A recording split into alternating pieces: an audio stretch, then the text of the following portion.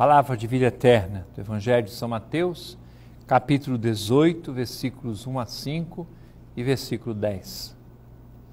Naquela hora, os discípulos aproximaram-se de Jesus e perguntaram: Quem é o maior no reino dos céus? Jesus chamou uma criança, colocou-a no meio deles e disse: Em verdade vos digo, se não vos converterdes e não vos tornardes como crianças, não entrareis no reino dos céus.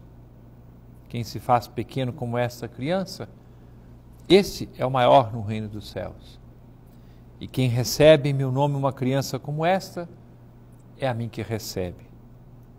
Não desprezeis nenhum desses pequeninos, pois eu vos digo que os seus anjos nos céus veem sem cessar a face do meu Pai que está nos céus.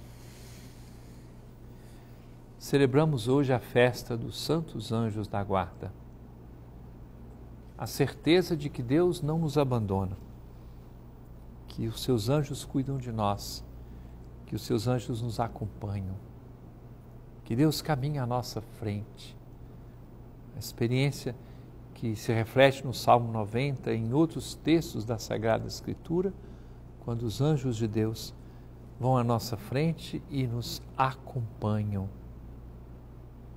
Celebrar os anjos da guarda é celebrar esta grandeza do amor de Deus por nós celebrar os anjos da guarda é celebrar uma devoção tão bonita, tão significativa que nos acompanha desde a nossa infância.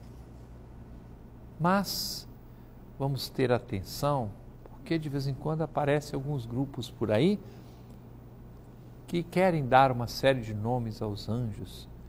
Outros, infelizmente, já chegaram até as raias do absurdo, dizendo que queriam desempregar o anjo da guarda, porque não estaria fazendo aquilo que a pessoa quer.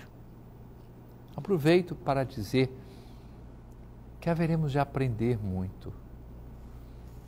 Nós não somos pessoas que possamos manipular Deus ou seus anjos devemos ir atrás da vontade de Deus, deixar-nos conduzir pelas inspirações e também pelo cuidado dos anjos da guarda que nos levam adiante para que nós sejamos capazes de experimentar essa fidelidade a Deus, malgrado a nossa limitação, a nossa fraqueza, as nossas eventuais dificuldades.